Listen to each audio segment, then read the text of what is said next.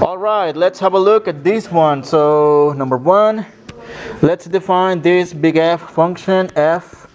That's an x squared minus 2y squared plus z squared plus y z minus 2.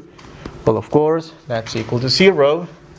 And, well, let's find the gradient first on nabla f. That's um, the partial derivative of this madness with respect x. Well, we only have one term that depends on x, and that's the first one, so that's uh, 2x.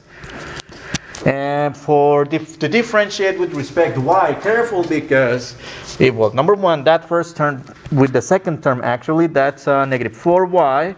But this last term, yz, what's the partial derivative of yz with respect y?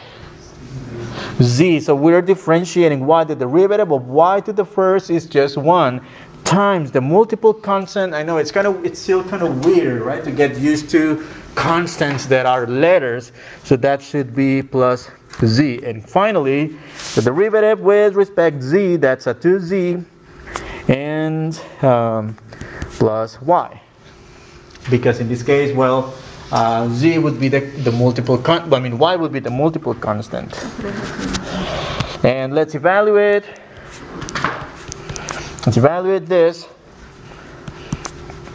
at the corresponding point that is to 1 negative 1 so this will be 2 times x which is 2 comma negative 4 times y which is 1 plus the z value which is negative 1 and 2z which is negative 1 plus y which is 1 so let's simplify this.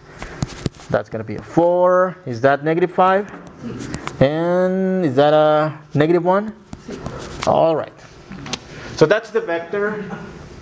Well i'm not going to write the whole formula this time so this time i'm just going to write this as the coefficients of these parentheses that's 4 parentheses x minus something plus or actually minus 5 y minus something and minus 1 times z minus something equals to 0.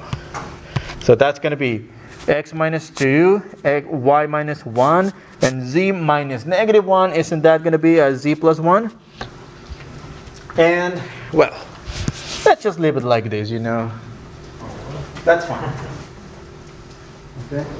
Oh, However, some of I, I, I see some of you did all the distribution and all that. What you got? Okay, so you got 4x minus 5y minus z equals 2. That's negative 8 plus 5. Is that negative 3? And then minus 3 minus 1 is that negative 4, so equals to 4. Positive 4, right on the right hand side. Yep.